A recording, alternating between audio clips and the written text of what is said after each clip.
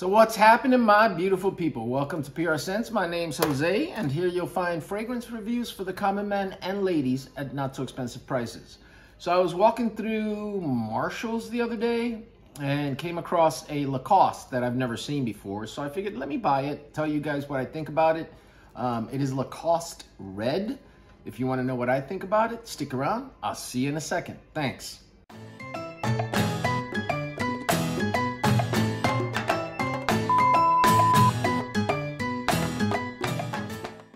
So what's happening, my beautiful people out there in the fragrance world? I hope you're all doing well. Um, if you are new to this channel, welcome. If you are a returning subscriber, thanks for stopping by.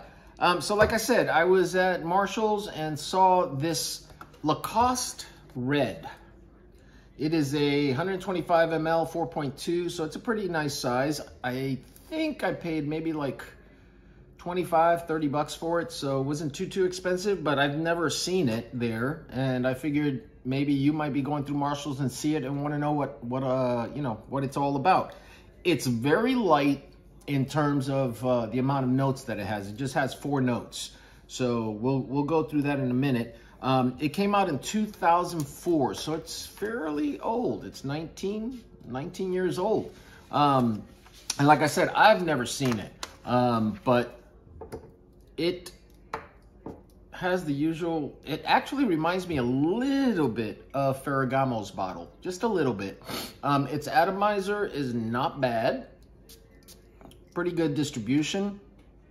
It smells really, really nice. Um, it comes across, uh, as far as its accords are concerned, as woody, fruity, green, aromatic, fresh, earthy, balsamic, and warm and spicy. Um, its top notes are green apple, its middle note is pine tree, and then its base notes are patchouli and vetiver.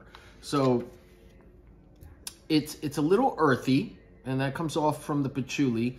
Um, you do get the vetiver, the pine tree. I guess it's it does smell a little green. It doesn't remind me of Christmas or anything, um, but you do get a little bit of the green apple.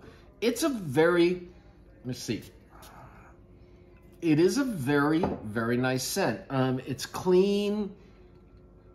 It's, it's not flowery, but the vetiver gives it a little bit of, you know, of oomph to it.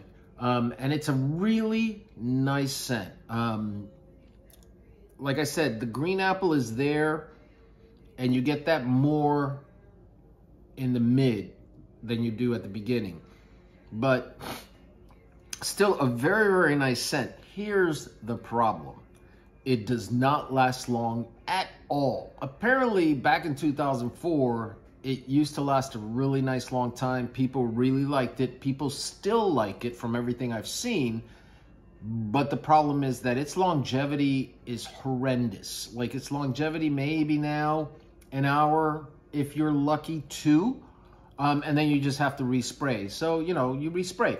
But yeah, it doesn't last that long. It becomes a skin scent really quickly. So projection, not that great either. Um, but the scent is very, very nice. Um, I like it.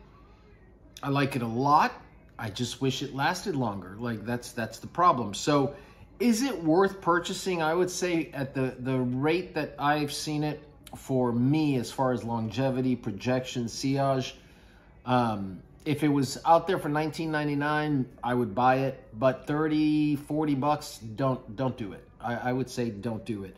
Um, if you see it on clearance or something and it's you know 9.99 definitely buy it because it's not a bad scent whatsoever. But you know unfortunately they've probably reformulated it so much that it just does not last that long. So you know do with that what you will. So that is lacoste red um, this is the newer bottle. It used to come in a in a red bottle, uh, round red bottle. Um, it no longer does, but you know, they've they've reformulated the bottle as well, I guess. Uh, so yeah, if you see it for a cheap price, under 20 bucks, I would say, yeah, it's a, it's a good purchase because you just respray and you'll be fine. It's a nice summer, spring, fall fragrance. Um, more manly than than female, so I wouldn't even say it's unisex. I would say this is more of a of a guy scent.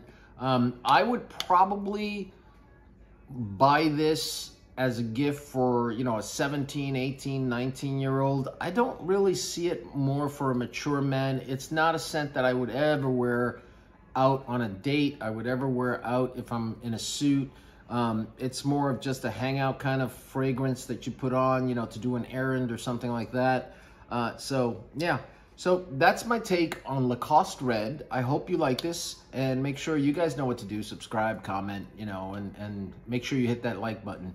Um, but yeah, as always, guys, you guys make sure that you be safe, you be loved, and I will talk to you later. Thanks, guys. Bye.